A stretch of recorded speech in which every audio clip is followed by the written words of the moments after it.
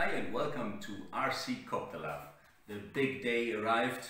I have received my M4 Max. Finally I can build it. I can't wait because I'm so in love with my M4 that I'm flying it all the time and the M4 Max will be the next step. It is a complete new helicopter. It has a stronger motor. It will work better with um, low RPM, even better because it has so much power reserves in low RPM. Uh, it has uh, such a motor that handle that can handle every RPM situation and I love low RPM. I love the silence of the motors in low RPM. I love that the dominating sound is the blade sound. I received this helicopter, I opened this package very late yesterday evening and I didn't uh, did only manage a few thing, things. I assembled the um, cyclic servos. Um, it is, I would say, the brain if the motor is the heart of the helicopter and the part that is very deciding is the frame where all this is sitting later.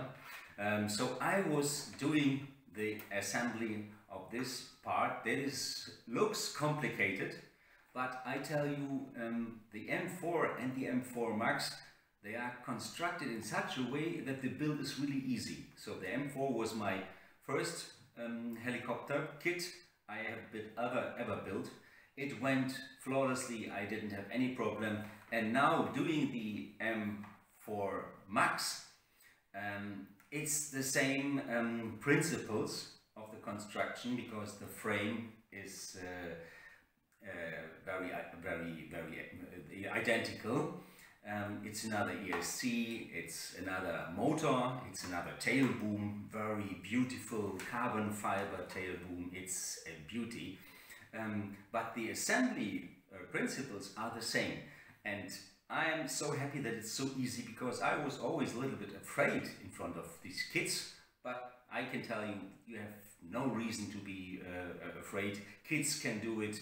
Uh, Peter Szabo um, let his kids, Tonksi and her little brother, build this uh, helicopter kit and they didn't have any problems. So it is really easy and you have to sometimes be exact because you can have a look. Uh, I have always my computer open because I have the, um, the instruction online. This is exactly what you see here. So it looks on the first view it seems to be confusing, but if you are going really step by step, I was yesterday going beginning with this first uh, part of the tail section, then the second part of the tail section, then this part that uh, keeps the tail belt in tension. So I went step by step. I always used um, uh, blue Loctite, but only inside of the um, uh, screw holes, not to uh, come in co contact with plastic or something else, because this can be very dangerous. Um, so Loctite is your best friend if you use it in the right way. If you treat it on plastic, it can uh, really uh, uh, destruct this plastic. It can make that the plastic breaks. And this is what nobody wants but you don't want as well, you don't want to build a helicopter without Loctite. So you know what you have to do. This was the first step. I show you how easy it is because every step, my next step will be 2, 3. And here is written M for X for max. Uh, and the 2 or 3 is the step 2, 3. Um, so I will have the motor assembly, every, everything is described. All pieces needed are here in this little bag and the motor was uh, separately in a very beautiful um, protecting case. Um, but everybody is able to identify the motor. So it's easy. I will go on and I keep you posted how the progress is going. Thank you. See you again. A couple of hours later and I finished the assembly of the mainframe. Now all these heart and soul and brain components uh, are in this part. Of course the tail is also very important It is wonderful that this is my second kit. Uh, could you please come a little bit closer, my dear wife? Um, I was doing the wiring already while mounting the frame. So when this side was missing, I, it was easier for me to have access. There are heat rings around these cables so that the um, zip ties and the carbon frame uh, don't damage the insulation of these cables. I did it this time better.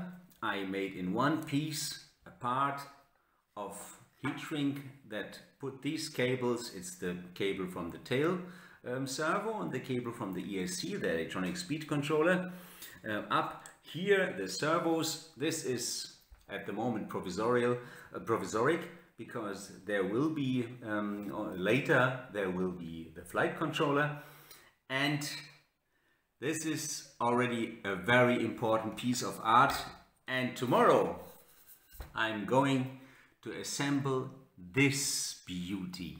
Have a look at this carbon fiber tail boom and another piece of art, this piece for the tail rotor. Um, it is from one piece of metal, it is for me wonderful. I could stand it in a uh, glass uh, in, a, in, a, showcase and, and, show it on a plate but it's of course meant for flying. But it's I, I cannot get enough from this. These cups are containing different screws from different topics. It's the method I used already with my M1 uh, M, M, M1 M4 and uh, it was proven because nothing is getting mixed. So even in the bags some components are coming separately, um, so they are coming uh, uh, in, in, in, separate thematic boxes, little, little, not boxes, bags. And uh, I pull just take the, the, the, the, bags, open them and put it inside these caps and no screw get lost, gets lost. So I will do now the tail assembly. This will be another very important step. It's not so easy because there are a lot of parts. Now we have a bigger uh, tail belt, a little bit wider than in, on the on the um, M4, um, because we have more power. Uh, so I'm coming back with the last step. Okay, see you again. See you again. The final step is done I completed the M4 Max build electronically and mechanically. So everything is mounted, already the receiver is mounted, FrSky or FrSky, the Brain 2 flybarless con controller is uh, mounted, all servos are connected. It is very important to connect them then in the right um, order because every servo has a number. There's some kind of uh, um, uh, uh, uh, for for the for the uh, um, servo numbers, and you have to mount them exactly right so that the helicopter flies right. If you give the impulse to fly right and left and so on forward, that nothing is reversed. And everything is done. One step was not easy, but I made a big mistake by mounting the tail. So the tail assembly was okay, it is really possible, but when I put in the tail boom into the frame through these um, uh, two holes that are holding uh, clamps that are holding the tail, I somehow was not aware that I was twisting the belt too much. So I think that's the most difficult part in every helicopter built with a tail, uh, with a belt driven tail, is really this mounting because you have to be very focused. The, the whole belt has to come straight through the whole tail boom, which is quite long.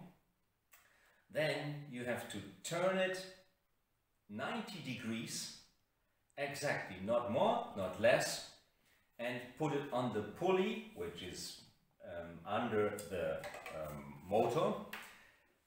And even although my, my dear wife, she's behind the camera, was helping me like a nurse in the operation cell, um, operation room, it was somehow happening that the turn was, the, the, the, belt was twisted once, one time too much.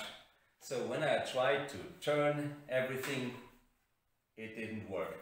So I had to disassemble everything once again, put out the tail um, uh, belt and that was unnecessary. So any tip for anybody who builds um, an M4 or an M4 Max, uh, do this with really high concentration and because otherwise you have more work than, than you would have to. And it's very important that the um, main rotor is turning clockwise and the tail rotor is turning counterclockwise looking from the right side as you do right now. So everything is done. To sum it up, this build was again very easy. My M4 was already easy. Um, I made some mistakes with the tail um, uh, assembly. That's my that's on my uh, on my conto, so that's my my own problem that I created. But it is very easy to build it and it's great to build the second kit because I was doing everything a little bit better. The whole wiring is better, um, even the wiring of the servos is better. I, I was using more heat shrink um, to protect the cables um, in front of the carbon fiber frame because they can, uh, the carbon fiber can, like a saw, um, uh, damage the isolation um, I was mounting the uh, receiver in a better way. Um, so everything is a little bit better than uh, in the in the first build, and that's something. And I think this will be in the future the same. So the, my helis will, will get better and better. And now is only waiting for me the radio programming. So I have to copy the file for my M4 on my Radio Master I have to copy the file for my brain setup, brain 2 setup in for the M4. In the brain, um, I have to bind the transmitter to the radio. This is a step which is, hmm, I'm a little bit afraid in front of it because I'm really very new in this and I don't like it very lot, very much. And I found a funny aspect now. The M2 Evo is exactly as long as one blade of the M4 Max. And this is really funny in my opinion. That shows you how big this M4 Max is. And I can't wait to pick it up because what I have seen from my team uh, pilots, colleagues, OMP team pilots, uh, heli team pilot colleagues, is this machine is flying great with low RPM and I love flying with low RPM because the sound is much more quiet and you hear only what I love the most in these bigger helicopters, the wonderful music of these rotor blades. So the next video will be of course the maiden flight of this M4 Max and I hope to see you again. If you like this video, give us a like. If, it, if you like it very much, subscribe and see you again. RC Copter Love.